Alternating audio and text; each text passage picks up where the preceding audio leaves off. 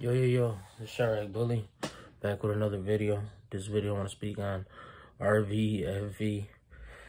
This is a uh, Spanish drill rapper I ran across um, doing crazy, crazy numbers. I'm talking about over 20 million.